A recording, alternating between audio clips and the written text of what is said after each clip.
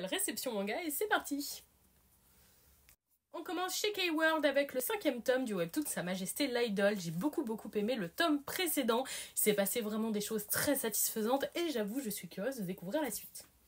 On passe chez Vega Dupuis avec le quatrième tome de Caillot Dante. J'avais été très mitigée par le second tome et finalement le troisième a vachement remonté la pente. Je suis curieuse de découvrir ce qui va se passer par la suite donc je continue.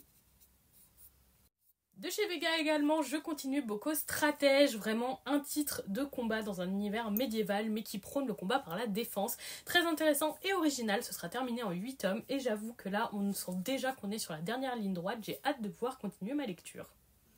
Chez Soleil Manga ensuite, j'ai reçu le one-shot Jules César, la guerre des Gaules, qui se voudra être un one-shot historique réaliste sur la vie de Jules César et certaines de ses batailles. Franchement très intéressant, c'est le genre de titre que j'apprécie vraiment, ça donne une manière ludique de découvrir certains événements historiques et je suis très contente d'avoir l'occasion de le lire.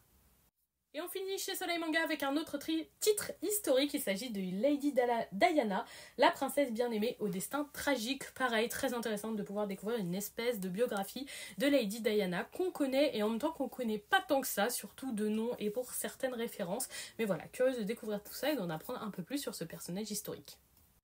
Et voilà pour la réception d'aujourd'hui. Dites-moi si nous avons certaines lectures en commun ou si certaines vous tentent.